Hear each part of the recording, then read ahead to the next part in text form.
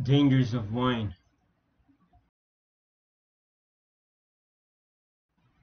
And he drank of the wine, and was drunken, and he was uncovered within his tent. And Noah awoke from his wine, and knew what his younger son had done unto him. Genesis chapter 9, verses 21 and 24. And Lot went out, out of Zoar, and dwelt in the mountain, and his two daughters with him, for he feared to dwell in Zoar. And he dwelt in a cave, he and his two daughters. And the firstborn said unto the younger, Our father is old, and there is not a man in the earth to come in unto us after the manner of all the earth. Come, let us make our father drink wine, and we will lie with him, that we may preserve seed of our father. And they made their father drink wine that night. And the firstborn went in and lay with her father. And he perceived not when she lay down, nor when she arose.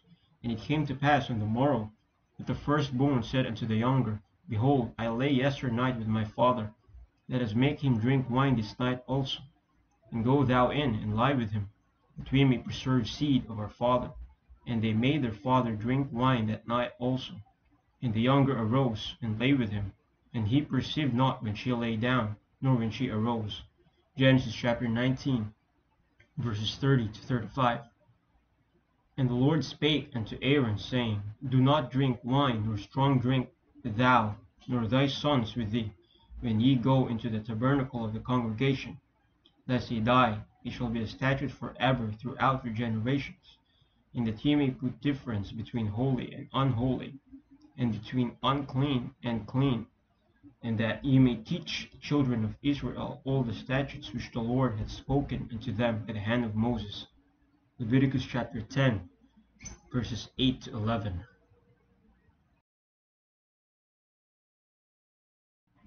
And the Lord spake unto Moses, saying, Speak unto the children of Israel, and say unto them, When either man or woman shall separate themselves to vow a vow of a Nazarite, to separate themselves unto the Lord, he shall separate himself from wine, strong drink, and shall drink no vinegar of wine, or vinegar of strong drink, neither shall he drink any liquor of grapes, nor eat moist grapes, or dry. All the days of his separation shall he eat nothing that is made of the vine tree, from the kernels even to the husk. Numbers chapter 6, verses 1 to 4. But he said unto me, Behold, thou shalt conceive, and bear a son, and now drink no wine nor strong drink, neither eat any unclean thing, for the child shall be a Nazarite to God from the womb to the day of his death. Judges chapter 13, verse 7. And it came to pass, she continued praying before the Lord, that Eli marked her mouth. Now Hannah, she spake in her heart, only her lips moved, but her voice was not heard. Therefore Eli thought she had been drunken. And Eli said unto her, How long wilt thou be drunken? Put away thy wine from thee. And Hannah answered and said, No, my lord, I am a woman of a sorrowful spirit. I have drunk neither wine nor strong drink, but have poured out my soul before the Lord. 1 Samuel chapter 1, verses 12 to 15.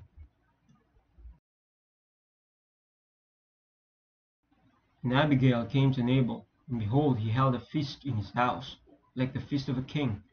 And Nabal's heart was merry within him, for he was very drunken. Wherefore she told him nothing less or more until the morning light.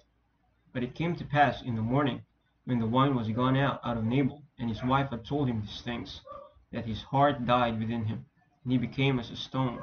And it came to pass about ten days after, that the Lord smote Nabal, that he died. 1 Samuel chapter 25, verses 36 to 38. Now Absalom had commanded his servants, saying, Mark ye now when Amnon's heart is merry with wine. And when I say unto you, Smite Amnon, then kill him, fear not, have not I commanded you? Be courageous and be valiant. 2 Samuel chapter 13, verse 28. Thou hast put gladness in my heart, more than in the time that their corn and their wine increased. I will both lay me down in peace and sleep, for thou, Lord, only makest me dwell in safety. Psalm chapter 4, verses 7 to 8. Enter not into the path of the wicked, and go not in the way of evil men. Avoid it, pass not by it, turn from it, and pass away. For they sleep not, except they have done mischief, and their sleep is taken away, unless they cause some to fall. for they eat the bread of wickedness and drink the wine of violence.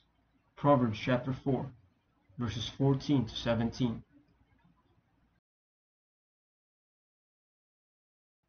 Wine is a mocker, strong drink is raging, and whosoever is deceived thereby is not wise.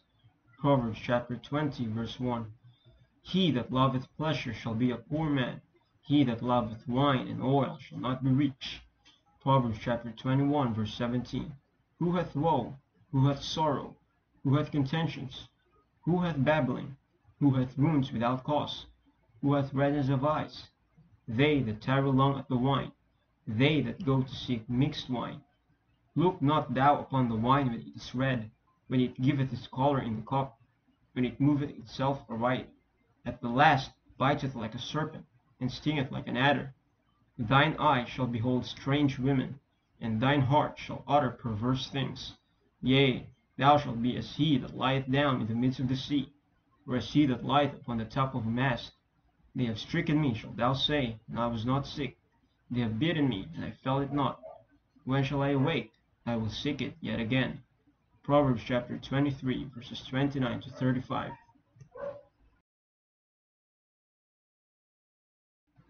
It is not for kings, O Lemuel, it is not for kings to drink wine, nor for princes strong drink, lest they drink and forget the law, and pervert the judgment of any of the afflicted. Give strong drink unto him that is ready to perish, and wine unto those that be of heavy hearts. Let him drink, and forget his poverty, and remember his misery no more. Proverbs chapter 31, verses 4 to 7. Woe unto them that rise up early in the morning, that they may follow strong drink, that continue until night, till wine inflame them. And the harp, and the viol, the tabret, and pipe, and wine are in their feasts. But they regard not the work of the Lord, neither consider the operation of his hands. Isaiah chapter 5, verses 11 to 12.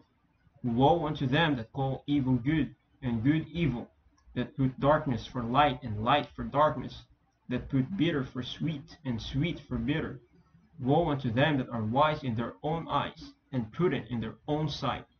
Woe unto them that are mighty to drink wine, and men of strength to mingle strong drink, which justify the wicked for reward, and take away the righteousness of the righteous from him.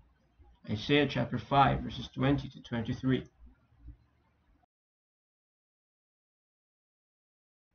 Woe to the crown of pride, to the drunkards of Ephraim, whose glorious beauty is a fading flower, which are on the head of the fat valleys of them that are overcome with wine.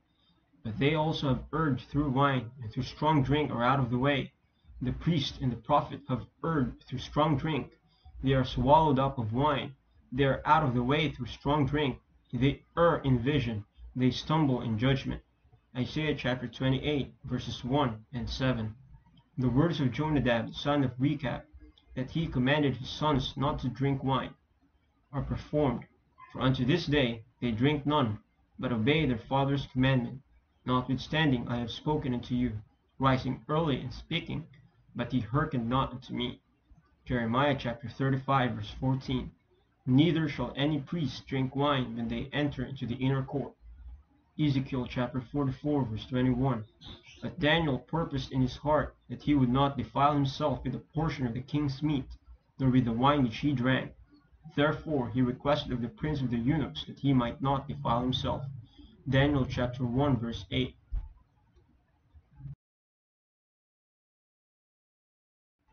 For they shall eat and not have enough, they shall commit whoredom and shall not increase, because they have left off to take heed to the Lord.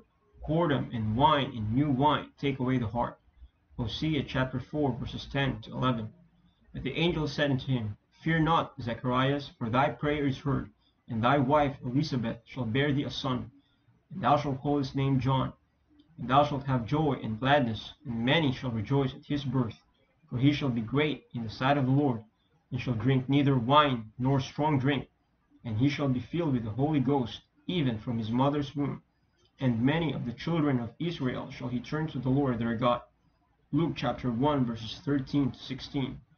See then that ye walk circumspectly, not as fools, but as wise, redeeming the time, because the days are evil. Wherefore be ye not unwise, but understanding what the will of the Lord is. And be not drunk with wine, wherein is excess, but be filled with the Spirit, speaking to yourselves in psalms and hymns and spiritual songs, singing and making melody in your heart to the Lord, giving thanks always for all things unto God and the Father in the name of our Lord Jesus Christ, submitting yourselves one to another in the fear of God. Ephesians chapter 5 verses 15 to 21. This is a true saying, if a man desire the office of a bishop, he desireth a good work. Bishop then must be blameless, the husband of one wife, vigilant, sober, of good behavior, given to hospitality, apt to teach, not given to wine, no striker, not greedy of filthy lucre, but patient, not a brawler, not covetous, one that ruleth well his own house, having his children in subjection with all gravity. For if a man know not how to rule his own house, how shall he take care of the church of God? Not a novice, lest being lifted up with pride he fall into the condemnation of the devil. Moreover, he must have a good report of them which are without, lest he fall into reproach and the snare of the devil. Likewise must the deacons be grave, not double-tongued, not given to much wine, not greedy of filthy lucre, holding the mystery of the faith in a pure conscience, and let this also first be proved, then let them use the office of a deacon, being found blameless. Even so must their wives be grave, not slanderers, sober, faithful in all things. Let the deacons be the husbands of one wife, ruling their children in their own houses well. For they that have used the office of a deacon, well purchase to themselves a good degree, and great boldness in the faith which is in Christ Jesus. 1 Timothy chapter 3 verses 1 to 13. For a bishop must be blameless as the steward of God, not self-willed, not soon angry, not given to wine, no striker, not given to filthy lucre, but a lover of hospitality, a lover of good men, sober, just, holy, temperate, holding fast the faithful word as he hath been taught, that he may be able by sound doctrine both to exhort and to convince the gainsayers. Titus chapter 1, verses 7 to 9.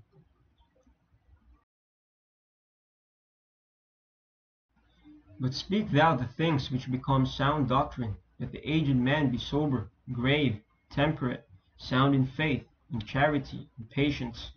Aged women likewise, that they be in behavior as becometh holiness, not false accusers, not given to much wine, teachers of good things, that they may teach the young women to be sober, to love their husbands, to love their children, to be discreet, chaste, keepers at home, good, obedient to their own husbands, that the word of God be not blasphemed.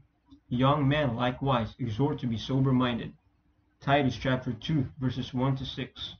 And he said unto them, Declare unto us your mind concerning the writings. Then began the first, who had spoken of the strength of wine. And he said thus, O ye men, how exceeding strong is wine! It causeth all men to err that drink it. It maketh the mind of the king of the fatherless child to be all one, of the bondman and of the freeman, of the poor man and of the rich. It turneth also every thought into jollity and mirth, so that a man remembereth neither sorrow nor death. And it maketh every heart rich, so that a man remembereth neither king nor governor. And it maketh to speak all things by talents. And when they are in their cups, they forget their love both to friends and brethren. And the little after draw out swords. But when they are from the wine, they remember not what they have done. O ye men, is not wine the strongest, that enforceth to do thus? And when he had so spoken, he held his peace. 1 Esdras chapter 3 verses 17 to 24.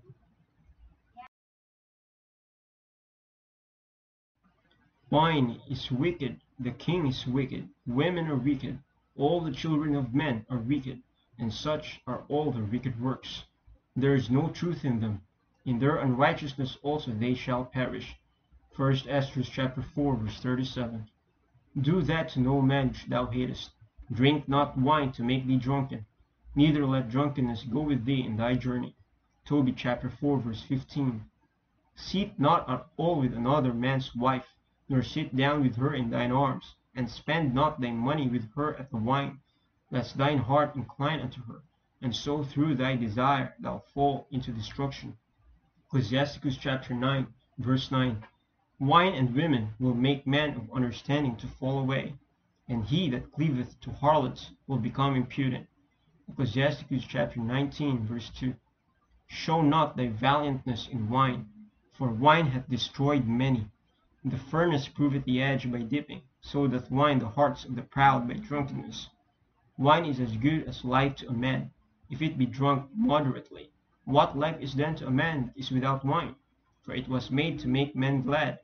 Wine measurably drunk, and in season, bringeth gladness of the heart, and cheerfulness of the mind.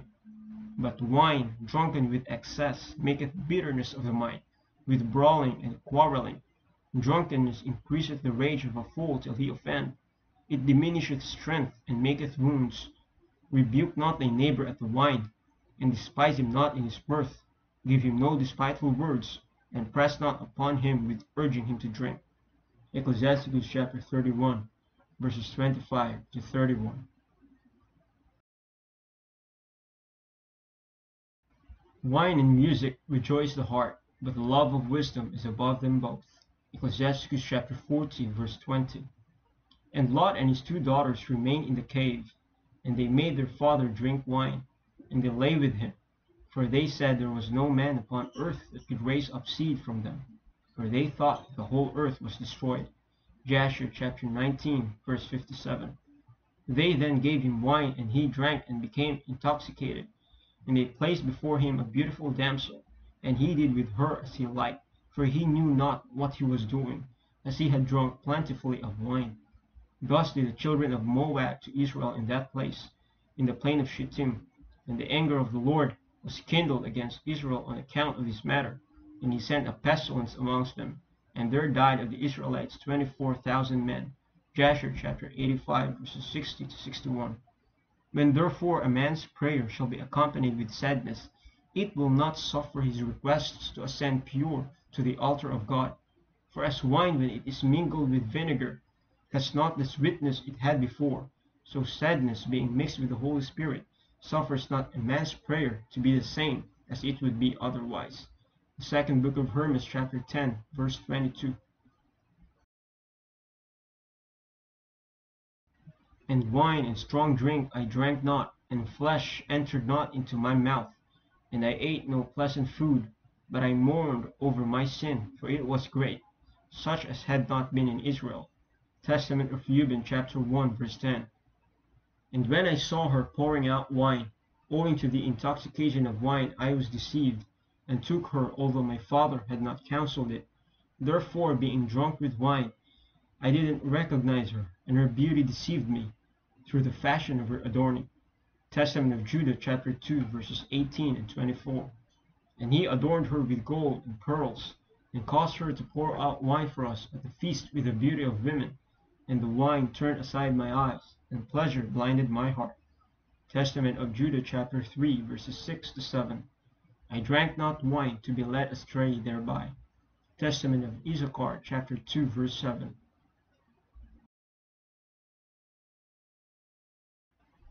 And now, my children, I say unto you, be not drunk with wine, for wine turneth the mind away from the truth, and inspires the passion of lust, and leadeth the eyes into error.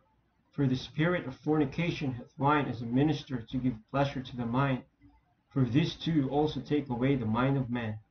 For if a man drink wine to drunkenness, it disturbeth the mind with filthy thoughts, leading to fornication, and heateth the body to carnal union.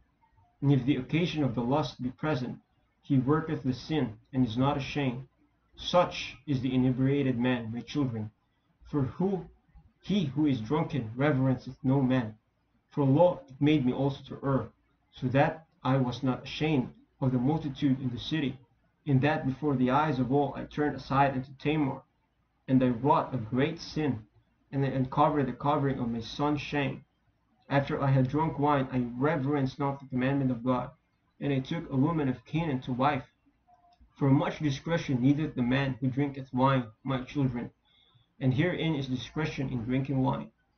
A man may drink so long as he preserveth modesty, but if he go beyond this limit, the spirit of deceit attacketh his mind, and it maketh a drunkard to talk filthily, and to transgress, and not to be ashamed, but even to glory in his shame, and to account himself honorable. He that committeth fornication is not aware when he suffers loss, and is not ashamed when put to dishonor. For even though a man be a king, and commit fornication, he is stripped of his kingship by becoming the slave of fornication, as I myself also suffered. For I gave my staff, that is, the stay of my tribe, and my girdle, that is, my power, and my diadem, that is, the glory of my kingdom.